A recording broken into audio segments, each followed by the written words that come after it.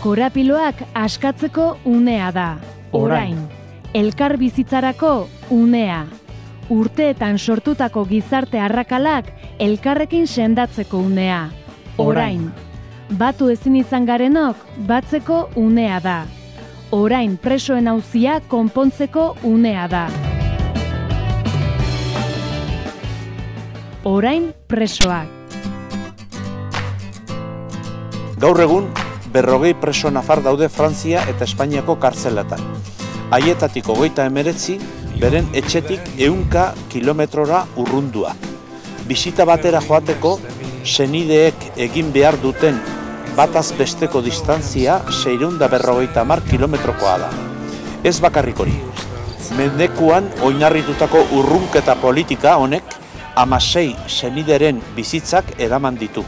Orain presoak dinamikaren baitan antolatu eta batu garenok etaren disoluzioaren ostean ireki den garai berria probestu eta aspaldidanik espero dugun aldaketa gauzatu dadin gure ondarralea jarri nahi dugu. Bakerantz eta elkar bizitzarantz eramango gaituen aldaketaz ari gara. Sufrimentu gehiago sortzeari utzi eta korapiloak askatu zein zubiak eraikiko dituen jendarte baterantz eramango gaituena. Baina argi dugu ere, oraindik orain, indarrean den espetxe politika aldatu ezean, giza eskubideak urratuak izateaz gain, presoen senideak bereziki aurrak eta adinduak direnak sufrimendua pairatzen jarraitzen dutela. Zentzu honetan, azken hilabeteetan, hainbat ahots entzuna ahal izan ditugu espetxe politika honen aldaketa beharraz mintzo izan direnak.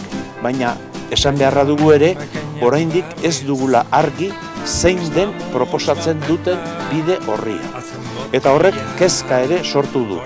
Benetako aldaketa batez ari baragara, hitzak ez ezik, ekintzak ere beharrezko baitira.